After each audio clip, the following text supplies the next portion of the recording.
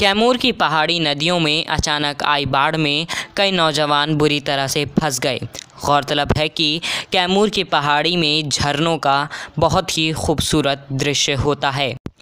यहाँ ख़ास तौर से बरसात के दिनों में बिहार और देश के अन्य भागों के अलावा विदेशों से भी पर्यटक आते हैं। लॉकडाउन में ढील के बाद आसपास के लोग कैमूर की पहाड़ी का खूबसूरत मंजर देखने आते हैं।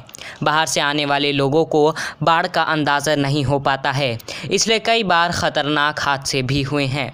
मकामी लोग पानी का रंग देखकर ही पता लगा लेते हैं कि यहाँ ख़तरनाक सैलाब हो सकता है। कैमूर पहाड़ी के मांजर कुंड में फंसे चार नौजवानों को स्थानीय मल्लाहों ने बचा लिया। लेकिन हर बार ऐसा सुखद समाचार सुनने को नहीं मिलता है। पुलिस और प्रशासन का कहना है कि बार बार की चेतावनी के बावजूद कुछ लोग मानने के लिए तैयार नहीं होते हैं, जिससे हंसता खेलता माहौल मातम में बदल जाता है। सिराज इदरीसी के साथ ब्यूरो रिपोर्ट।